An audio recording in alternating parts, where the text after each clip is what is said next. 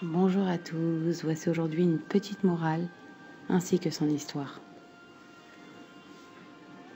Dans notre course quotidienne, partagée entre le soin de notre maison, l'éducation de nos enfants et le gain de la parnassa, nous avons souvent tendance à négliger l'entretien de nos liens conjugaux.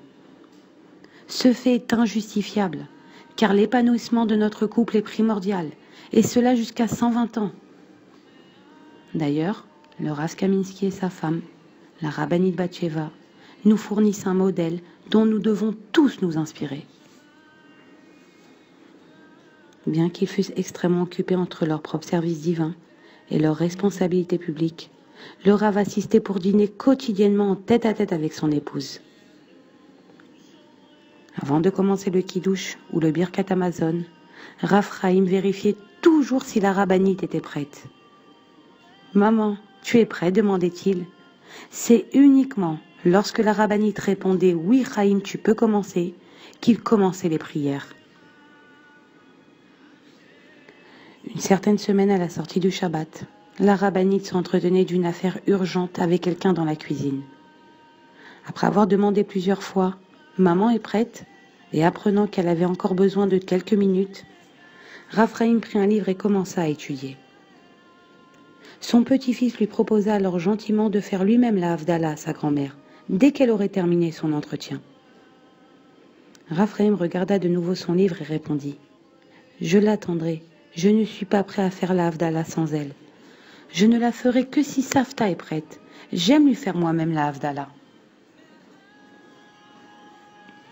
Lorsque la paix, l'affection et l'attention mutuelle règnent entre le mari et sa femme, alors l'éducation de leurs enfants est bien plus aisée et porte merveilleusement ses fruits. De plus, la paix dont ils profitent au sein de leur foyer, grâce à leur effort, leur assure la bénédiction de Hachem, dont la conséquence directe est la réussite dans la parnassa. Mais que font les gens en général? Ils pédalent à l'envers. Ils mettent leur coupe en second plan, délaissent l'entretien de leurs liens, ce qui entraîne dans son sillage tension et rancune. Dans cette ambiance tendue, ils tentent à grande peine d'éduquer leurs enfants, qui ne leur donnent pas une grande satisfaction en retour. De plus, ils dépensent leur force et leur énergie à gagner une parnassa restreinte, sur laquelle la bénédiction de Hachem ne règne pas à cause de l'absence de la paix au foyer. Pour aider au renforcement des liens entre le mari et sa femme, Rav Israq Giberstein recommande aux couples d'étudier ensemble de façon quotidienne les enseignements de la paracha de la semaine. Il affirme que cela renforce leur relation et contribue à imprégner leur foyer de l'atmosphère véritable d'une maison juive. Voilà et bonne journée à tous.